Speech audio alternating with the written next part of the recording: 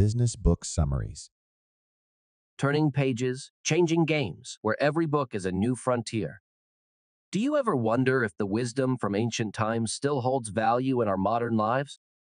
Let's journey back about 80 years to 1934, where an archaeology professor at the University of Nottingham, UK, uncovered five clay tablets in Babylon. These tablets, decoded with cuneiform script, didn't contain dull historical records, but instead revealed the first-hand account of a Babylonian slave named Dabasir. In a diary-like narrative, Dabasir shared his journey of paying off debts and amassing wealth. Surprisingly, the professor and his wife, burdened with their own pile of debts, decided to adopt Dabasir's approach. Following his footsteps, they successfully cleared their financial obligations. The insights into debt repayment and wealth accumulation from Dabasir's story originated from the book titled The Richest Man in Babylon. This book, a collection of enlightening tales on frugality and prosperity through hard work, became a guiding light for those seeking financial wisdom. Before we delve further, remember that we regularly share new content. Don't forget to subscribe to our channel Business Book Summaries and hit the notification bell for the latest updates. Now, let's delve into the origins of this book. Authored by George S. Clason, a prominent American businessman of the last century and a personal finance guru, he initiated his financial teachings in 1926. His method involved presenting financial advice in the form of fables and stories, akin to grandparents narrating captivating fairy tales to their grandchildren. Among his creations, The Richest Man in Babylon stood out as the most popular. Despite being published over half a century ago, this timeless piece has been translated into numerous languages and continues to be a bestseller. George S. Clason is acknowledged as a pioneer in financial education, leaving a lasting legacy through his innovative approach to sharing valuable money management principles. In George S. Clason's revealing book, the pathway to prosperity for the affluent Babylonians is unveiled, appearing deceptively simple, saving and investing. While these principles are straightforward in theory, their practical application is not always as easy. Let's delve into the book's wisdom on saving and investing, starting with the art of saving. At first glance, one might question the need for discussion on saving. The conventional belief is that if you earn more, you can save more. However, the book challenges this notion. It consistently emphasizes a key point, regardless of your income level, committing to setting aside one tenth of your earnings can pave the way to wealth.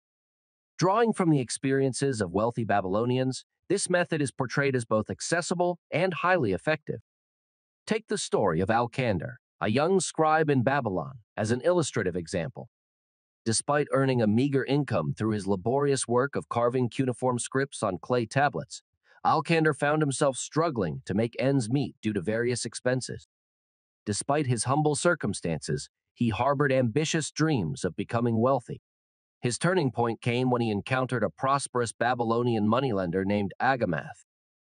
Agamath, having successfully accumulated wealth, shared a valuable piece of advice with Alcander. He revealed that the key to his financial success was the simple act of setting aside a portion of his income. This revelation sparked hope in the young scribe, who had previously believed that wealth was beyond his reach. As Agamath's words echoed in his mind, Alcander began to contemplate the possibility of implementing this seemingly straightforward yet transformative method into his own life. The book illustrates that the road to wealth, as exemplified by the experiences of individuals like Alcander, is within reach for those who are willing to embrace the practice of consistent and disciplined saving. The snowball effect, as illustrated in this narrative, possesses the transformative power to elevate even a humble shepherd to the status of a moneylender. Alcander, initially skeptical, decided to test the method advocated by the prosperous Agamath, who emphasized that merely setting aside one tenth of one's income could yield remarkable results. Alcander, grappling with a modest income, initially believed he had to sacrifice nearly all personal expenses and barely sustain himself to save anything. However, Agamath sternly rebuked him, challenging Alcander to envision the accumulation over 10 years by saving one tenth annually. Alcander's estimate fell short, but Agamath, the seasoned moneylender, imparted a crucial lesson money should not lie dormant. it should be dynamic and purposeful. In Agamath's philosophy, each saved coin had the potential to work like a devoted servant, tirelessly building boundless wealth.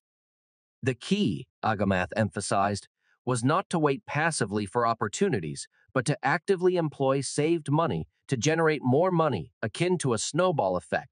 While Alcander harbored doubts, he embraced Agamath's method, setting aside one tenth of each payment without disrupting his normal spending. Surprisingly, this disciplined saving went unnoticed in his daily life. Though tempted by desires while walking down the street, Alcander found that the idea of saving had taken root, empowering him to resist such temptations. Alcander progressed further by investing the accumulated savings, undergoing lessons and tuition to unlock the path to wealth. Recognizing Alcander's newfound ability to make money multiply, Agamath welcomed him into his partnership, entrusting him with managing assets. Alcander's fortune soared through diligence, and upon Agamath's passing, he legally inherited a portion of the estate, eventually becoming the richest man in Babylon. This narrative underscores that the journey to wealth can commence with simplicity. Financial practices need not compromise living standards. Instead, they involve discerning necessary expenses from insatiable desires. Alcander's story, often attributed to luck, unveils a deeper truth his persistent dedication to saving one tenth of his income demonstrated his unwavering commitment. Alcander's success, rooted in realistic goals and gradual progression, serves as a testament to the transformative power of disciplined effort. Step by step. By the time Alcander reached the age of 70, he had ascended to the position of the wealthiest individual in Babylon. Prior to this, Babylon had flourished with grand public projects such as canals and temples, ushering in prosperity and ample income for its inhabitants. However, once these infrastructural endeavors were completed, the people found themselves adrift, facing challenges and a lack of direction. Witnessing the plight of his kingdom, the king of Babylon grew anxious and initiated a plan to select and train 100 ambitious youths as the future pillars of society. Money expert Alcander was called upon to impart his wisdom on achieving wealth through diligent effort. Alcander's first lesson was a simple yet profound trick setting aside one tenth of income. He illustrated this principle by instructing a young egg seller to place 10 eggs in his basket every morning and remove 9 at night. Through persistent application of this method, simultaneously, Alcander advocated for budgeting, ensuring a comfortable lifestyle while spending no more than nine tenths of one's income. Transitioning to the story of Dabasir, originally a freeman in Babylon, his life took a turn due to youthful indulgence, accumulating substantial debts that led to his enslavement in Syria. Through a stroke of luck and with the assistance of a benevolent mistress, Dabasir managed to escape back to Babylon with a determination to conquer his sole adversary debt. Dabasir's approach to debt repayment mirrored Alcander's path to wealth. He diligently followed a plan, setting aside a portion of his income for living expenses and allocating another portion specifically for debt repayment. Even during challenging times, Dabasir and his wife adhered to a disciplined lifestyle, using seven tenths of their income for living and allocating two tenths towards debt repayment. They actively sought opportunities to earn more from their savings. With a skill for handling camels, Dabasir seized opportunities to purchase and resell strong camels, earning a substantial 42 silver coins. Through such endeavors, Dabasir successfully repaid all his previous debts, realizing that settling debts was far more manageable than avoiding them. These experiences, etched on clay tablets, transcended centuries, resurfacing to aid a British professor couple in repaying their debts.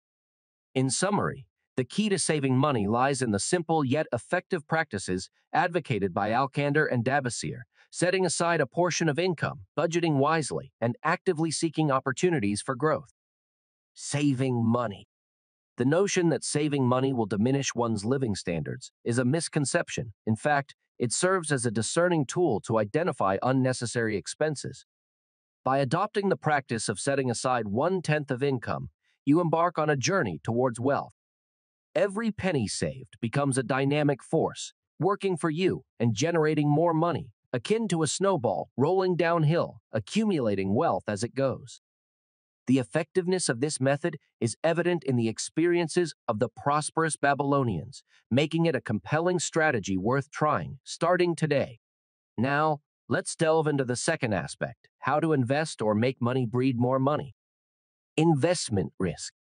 While there are numerous specific investment methods, the unchanging and crucial principles take precedence. One such fundamental principle that the book emphasizes is the concept of investment risk. Commonly, people associate investment with risk, believing that higher risks yield higher returns. However, the wealthy Babylonians held a starkly different perspective. To them, the idea of accepting higher risks for potential gains was entirely unacceptable.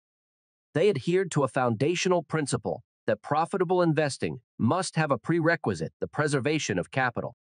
Consider the early investment experiences of Alcander as a case study. Eager to make his hard earned money flourish, he encountered a business opportunity through a bricklayer acquaintance who often ventured far out to sea.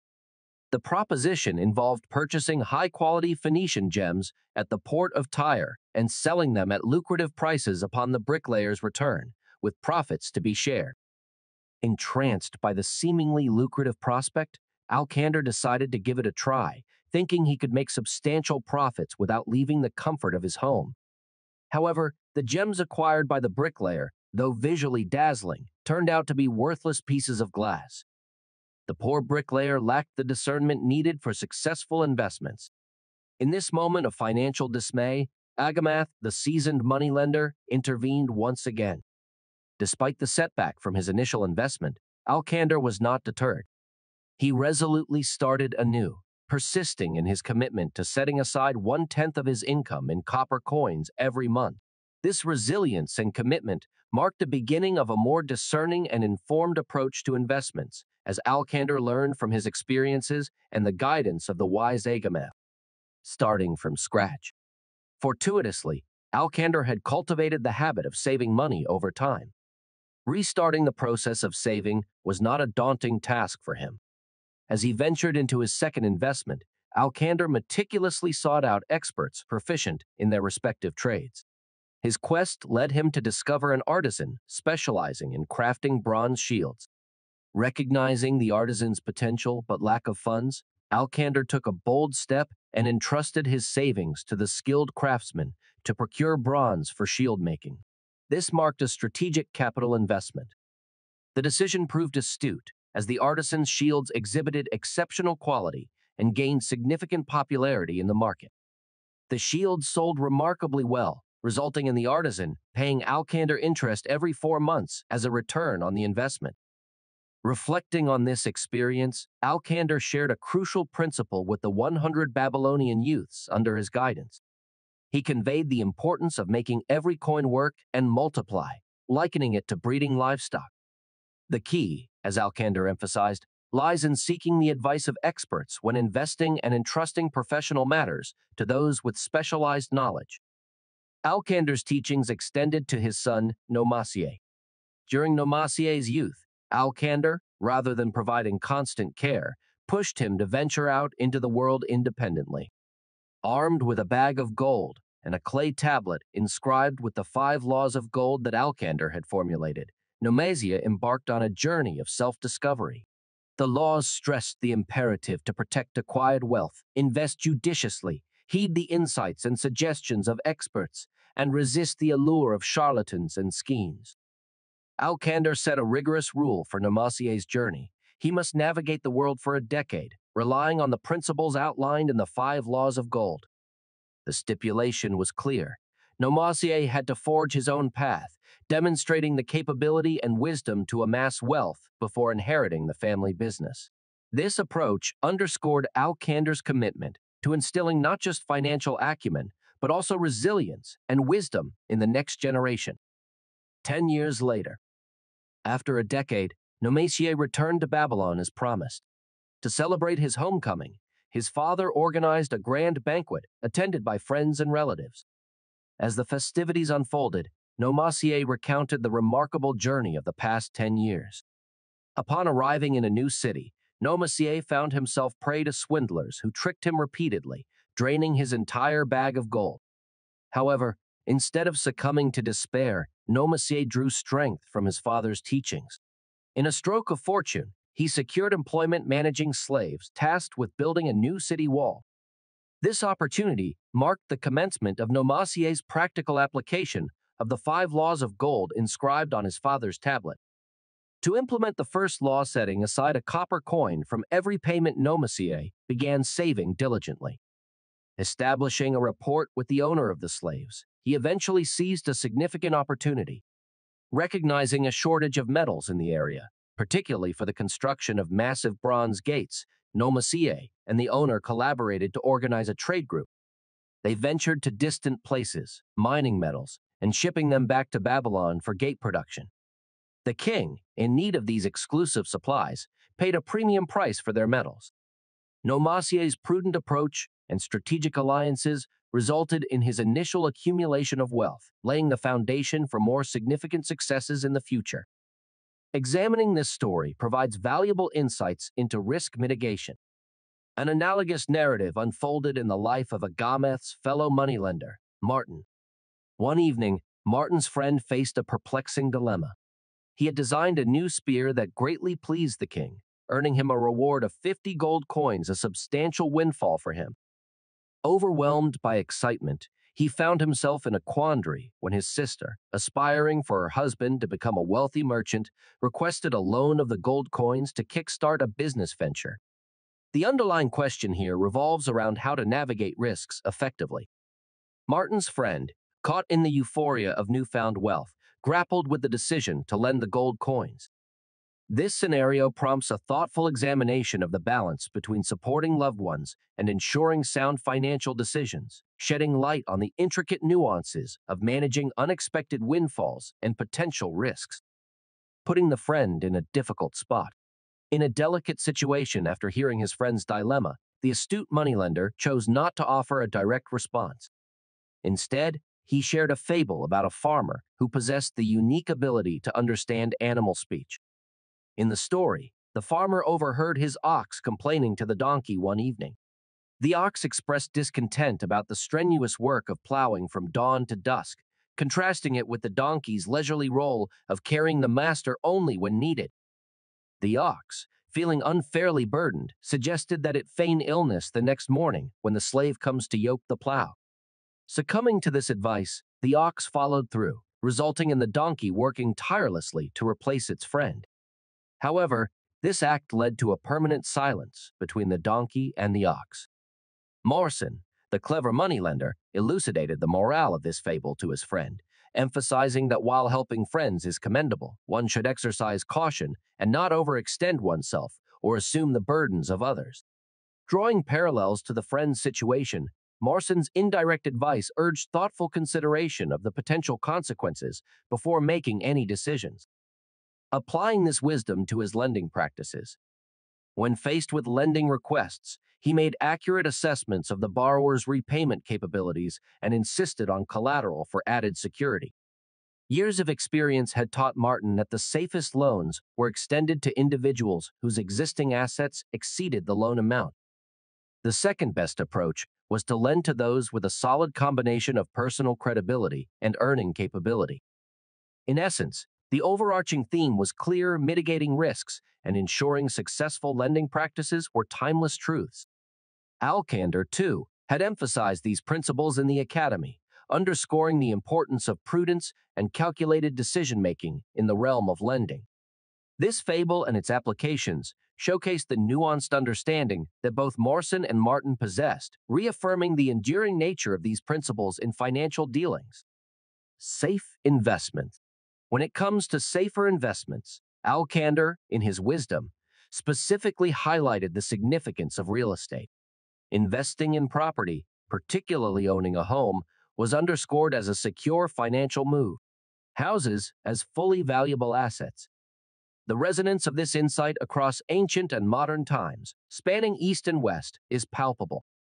Whether it is lending or home ownership, the underlying goal remains consistent, ensuring a steady and secured future income. In essence, the stories recounted above converge on a fundamental principle the importance of investing sensibly and prudently. The cautionary note is against blindly chasing high returns while disregarding associated risks. The emphasis is on reasonable profits, sufficient for projects that can deliver expected returns. However, prudence in investing does not guarantee significant returns. Nothing in the financial realm is absolute. The imperative is to avoid unnecessary risks when investing, but this does not translate to perpetual hesitation and indecision. The book posits that to earn more from investments, caution must be balanced with decisiveness. While seemingly contradictory, these traits are, in fact, complementary. Examining counterexamples from the book sheds light on this delicate balance. Returning to Alcander's experiences at the Babylonian Academy, a tale shared by an elderly merchant provides valuable insights. The merchant, in his youth, had the opportunity to develop a large barren tract of land beyond Babylon's walls.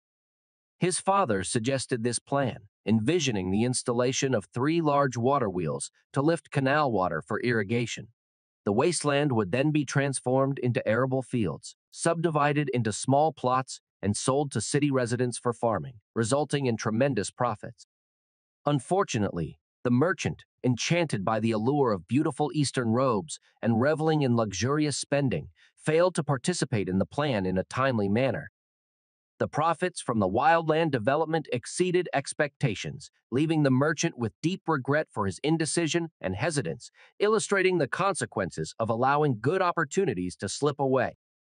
A middle aged livestock trader also shared a tale of a missed money making chance. After spending unsuccessful days searching for camels outside of town, he returned to Babylon thoroughly discouraged. One evening, finding the city gates closed, he had to camp outside overnight with his slaves. During this time, a farmer who was also locked out approached him. The trader, unable to count the exact number in the dark, hesitated to act, not knowing if the farmer's claim of 900 was exaggerated.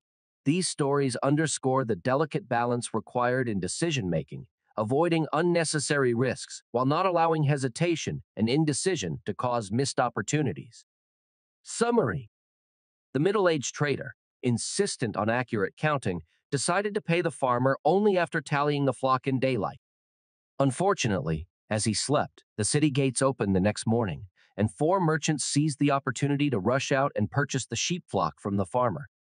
With the city under siege and facing a food shortage, the merchants offered three times the original price in their haste. The farmer, recognizing the urgency, promptly sold them the sheep without hesitation.